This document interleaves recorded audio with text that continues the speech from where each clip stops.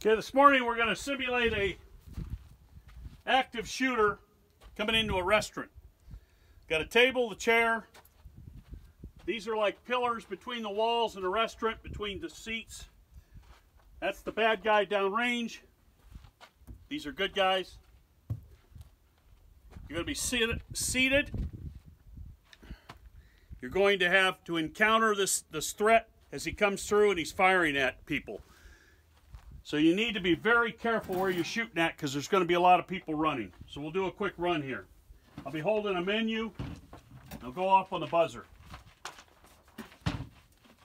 Again, need to watch yourself when you're pulling your weapon so you don't shoot yourself in the leg. There is going to be utter chaos when something happens like this, so you need to be alert.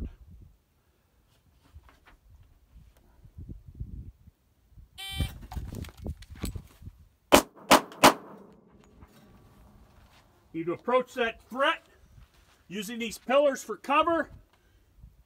You lean out, the threat's down, cross, double check, make sure there's nobody else out there.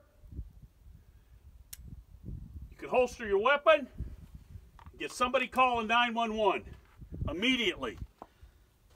This is a tip of the day, so remember, if you get in caught in one of these things and you've got a weapon, the police are going to probably be five minutes out. You need to take the threat out to stop to save lives. Tip of the day from Guns Unlimited.